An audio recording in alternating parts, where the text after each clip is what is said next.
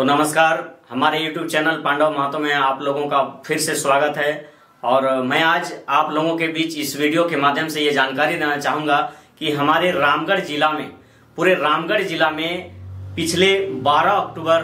2023 को एक civil surgeon का जो लेटर जारी हुआ था, उन्होंने प्रत्येक प्रखंड के वीडियो लोगों को अपना लेटर के माध्यम से सूचित किया था और उसी लेटर को वीडियो लोग, जो हमारे पंचायत के मुखिया, सरपंच, वार्ड, ये लोग होते थे, उन लोगों को अपने ओर से प्रेषित करके इस तरीके से किया गया था, जिस तरीके से मकान नंबर अलॉट किया जा रहा है और इसमें राशन कार्ड या फिर पीएम आवास, इस तरीके से बहुत कुछ लिखा हुआ है। तो मैं इस लेटर के माध्यम से, इस लेटर के विषय में आप लोगों को ये तमाम,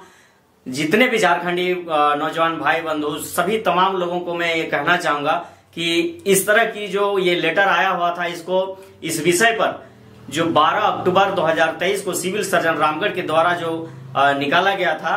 उसके खिलाफ में हम लोगों ने निशुल्क निशुल्क जो है, मकान नंबर लगवाने के, लेकर के हम लोगों ने जेबी केसेस के माध्यम से हमारे गोला प्रखंड के वीडियो को हम लोगों ने लिखित ज्ञापन सौंपा था एक नवंबर को। एक नवंबर को हम लोगों ने लेटर सौंपा था और हम लोगों ने ये भी कहा था कि इस विषय पर हम लोग चाहेंगे कि जितने भी ये ग्रामीण क्षेत्र है, रामगढ़ खास करके ग्रामीण एरिया है, इसलिए यहाँ पर निशुल्क व्यवस्था होना चाहिए। यहाँ पैसे खास करके पचास रुपया ले करके अगर लोगों से काम किया जाता है तो कहीं ना कहीं अनुचित है, और इसको हम लोग निंदा करते हैं। इस विषय पर हम लोगों ने स्थानीय वीडियो हमारे जो है, गोला प्रखंड को, उसको हम लोगों ने लिखित ज्ञापन सौंपा था, और उन, उसने हम लोगों को काफ़ी भरोसा भी दिया था कि इस लेटर को हम आगे तक लेके जाएँगे, और उन्होंने आज आज कुछ देर पहले मेरी बात हुई, जिस तरीके से हमारे वीडियो साहब हैं, हमने उनको कहा कि, सर, जब इस तरीके से अगर इस पर डीसी, हमारे जो उपायुक्त, रामगढ़ उपायुक्त चंदन कुमार जी के निर्देश के अनुसार जो उन्होंने आज प्रेस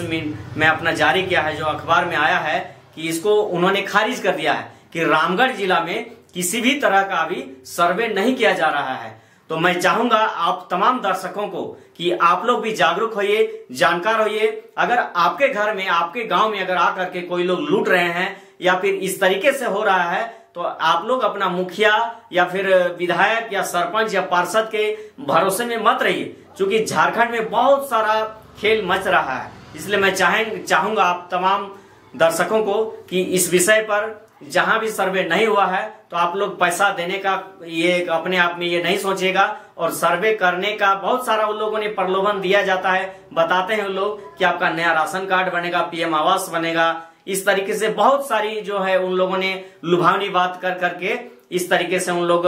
जो है पैसा लेते हैं। इसलिए फिर से मैं आप तमाम दर्शकों को यही कहना चाहूँगा कि हमारे रामगढ़ जिला के जो उपायुक्त